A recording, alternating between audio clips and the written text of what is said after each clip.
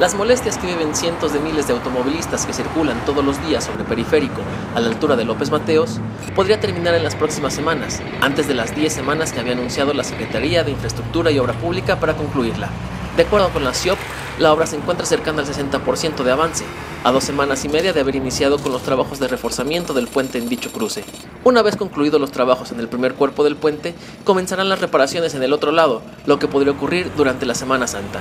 En este sentido, la Oficina de Comunicación de la Secretaría informó que se trabajará normalmente durante la Semana Mayor, aunque habrá que esperar la llegada de los días santos para conocer si se proyectó realizar operaciones en este periodo.